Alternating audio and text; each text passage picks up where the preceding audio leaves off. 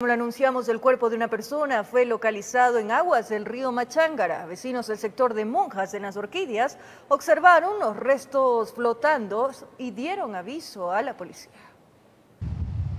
Como que apareció de la nada en la mañana, no estaba en el sitio, así rumoraban los vecinos. Para ellos la corriente lo habría arrastrado y se quedó atrapado en medio de piedras y palos. Al sitio llegaron uniformados del GOE, bomberos y policías de servicio urbano. Los rescatistas tuvieron que ingresar al agua para poder evacuar los restos. El sistema que se realizó fue polipastos. De igual manera utilizamos diferentes instrumentos ¿no? para realizar el sistema, para hacer la extracción del cuerpo.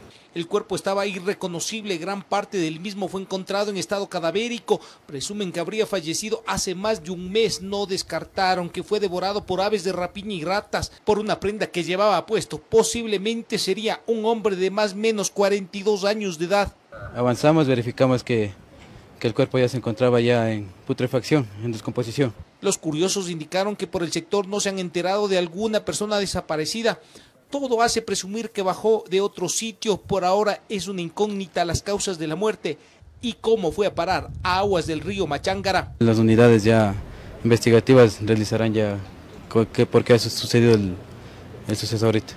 Como NN ingresó al Departamento de Medicina Legal, ahora los peritos trabajarán para conseguir alguna cicatriz, rasgo, en busca de saber su identidad para determinar si era alguien que estaba reportado como desaparecido. En Quito informó Iván Casamen.